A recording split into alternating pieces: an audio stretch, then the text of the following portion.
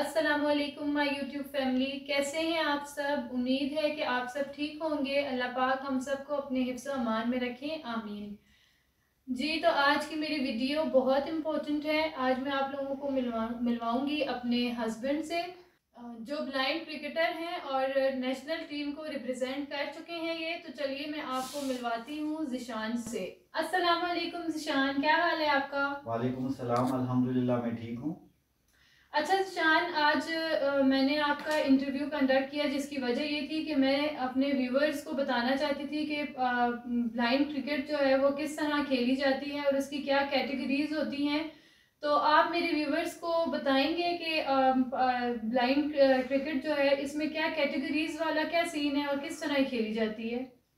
जी blind cricket जो है वो तीन कैटेगरीज हैं ब्लाइंड क्रिकेट में बी वन बी टू और बी थ्री इसमें मैं आपको बताना चाहता हूँ कि जो बी वन कैटेगरी होती है, उसमें टोटली ब्लाइंड होते हैं, जिन्हें बिल्कुल नज़र नहीं आता या फिर लाइट परसेप्शन होती है। और जो बी टू कैटेगरी होती है, उनकी कैटेगरी हैंड मूवमेंट से लेकर तीन से चार मीटर तक उन्हें हाथ की फिंगर्स तक नज़र आती हैं। और बी थ्री कैटेगरी जो होती है, वो पाँच से छः मीटर तक उन्हें ये हाथ क्लियर नज़र आना चाहिए। इसके बाद ब्लर होना शुरू हो जाता है। तो ये कैटेगरीज जो हैं ये डब्ल्यू एच ओ की तरफ़ से कैटेगराइज की गई अच्छा तो मुझे ये बताएँ शान के जो B one B two B three तो स्टैंड करता है ब्लाइंड को। ऐसा ही है? जी बिल्कुल। अच्छा तो मेरा अगला क्वेश्चन आपसे ये है कि एक तो ये आ, मेरे व्यूवर्स जानना चाहेंगे कि ये बॉल का क्या होता है कि जो बिल्कुल जो टोटली ब्लाइंड हैं, जो लाइट परसेप्शन पर हैं तो उनको बॉल किस तरह से पता चलता है? मतलब उनको किस तरह वो शॉट खेलते हैं या फिर बॉल कराते हैं, वो किस तरह होता है? जी, यहाँ पे मैं ये चीज़ बताना चाहूँ कि जो टोटली ब्लाइंड होते हैं, उनका जब वो रन लेते हैं, जो अगर वो एक रन लेंगे तो उसके दो काउंट होंगे। और जहाँ तक बॉल की बात है तो बॉल में बॉल बैरिंग्स होते हैं हार्ड प्लास्टिक होता है, जिसके साउंड से जो टोटली ब्लाइंड है बी वन है, और इवन दो जो बी टू भी होते हैं बी थ्री भी होते हैं तो वो मोस्टली साउंड पे साउंड पे ज़्यादा कंसंट्रेट करते हैं। मेरे मेरे व्यूवर्स जानना चाहते हैं आपके हवाले से, आप मतलब पी डब्ल्यू डीज के हस्बैंड के हवाले से कि आप जो है कि वो अपनी स्टडीज़ के हवाले से बताएँ और ये बताएँ कि आपको क्रिकेट का शौक़ किस तरह से हुआ कैसे आपने क्रिकेट स्टार्ट की? जी आ, मैंने अपनी स्टडीज़ जो है वो स्पेशल एजुकेशन से हासिल की तो क्रिकेट का शौक़ भी वहीं से हुआ और स्कूलिंग के दौरान ही जो है वो क्रिकेट वहीं पे सब खेलते थे तो वहीं से क्रिकेट स्टार्ट की और क्लब लेवल पे गया वहाँ से नेशनल लेवल पे गया।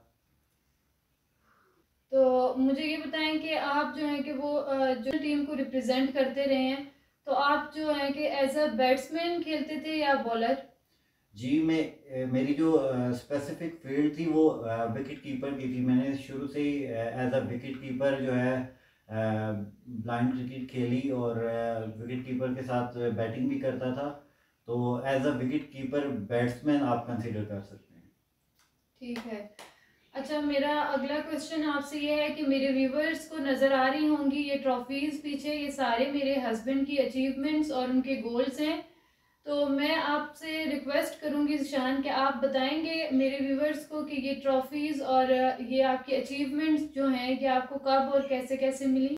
जी, ये ट्रॉफीज़ जब से मैंने क्रिकेट स्टार्ट की तो मुख्तलिफ़ इवेंट्स में जब मैंने पार्टिसिपेट करना शुरू किया तो तभी से मेरी अचीवमेंट की जर्नी स्टार्ट हुई और मुख्तलिफ़ नेशनल लेवल के इवेंट्स में मैंने बेस्ट विकेट कीपर्स के अवार्ड हासिल किए और मैन ऑफ़ द मैचेस हासिल किए और इंटरनेशनली भी जब मैं पाकिस्तान को मैंने रिप्रेजेंट किया मैं अपने व्यूवर्स को ये बता दूँ कि पी डब्ल्यू जो चैनल मैं रन कर रही हूँ तो इसकी जो मेरे जो एडिटर हैं और जो कैमरा मैन हैं तो वो मेरे हस्बैंड ही हैं, जो मेरी वीडियोस बनाते हैं और एडिट करके आप तक पहुंचाते हैं। तो जी, जिशान, इसके हवाले से, अपने चैनल के हवाले से आप क्या कहेंगे, अपने व्यूवर्स को? जी, मैं ये ये कहना चाहूँगा कि मेरे मिसेस ने जो ये चैनल स्टार्ट किया इसका मकसद यही है कि जो स्पेशल पर्सनस हैं, उनके बारे में अवेयरनेस हासिल हो कि उनकी डेली रूटीन किस तरह से है और वो किस तरह से अपने काम सर अंजाम देते हैं। और दूसरा ये कि जिस तरह सिंपथीज पाई जाती हैं स्पेशल पर्सनस को लेके जिस तरह हम भी डिफरेंट जगहों पे जाते हैं तो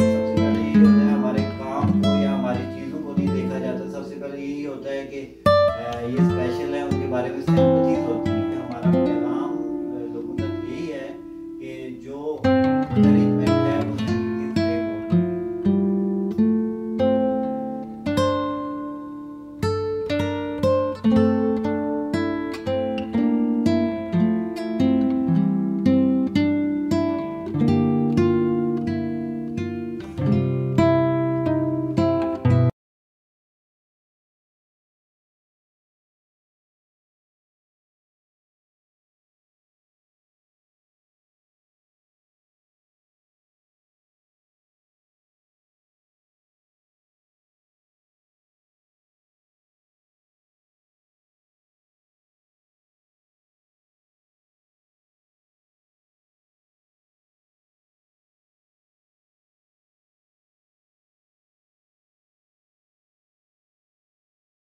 उम्मीद है कि आपको मेरी वीडियो अच्छी लगी होगी। कमेंट सेक्शन में ज़रूर बताइएगा कि आपको पी के हस्बैंड से मुलाकात कैसी लगी।